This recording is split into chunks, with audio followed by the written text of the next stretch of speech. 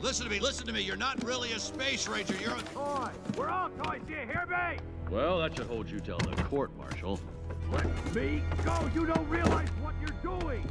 And this is the Buzz Lightyear aisle. Back in 1995, short-sighted retailers did not order enough dolls to meet demand.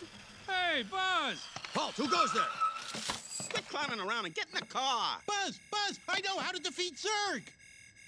You do? Come on, I'll tell you on the way. no, no, guys. You've got the wrong buzz. You've got. The wrong buzz. Say, where'd you get the cool belt, Buzz? Well, slotted pig, they're standard issue.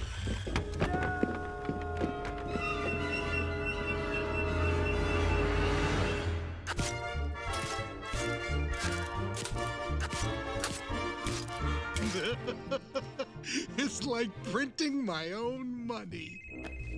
Yeah, what? Oh, oh, Mr. Konishi. Yes, um, I, I have the pictures right here. In fact, I'm in the car right now on my way to the office to fax them to you. I'm going through a tunnel.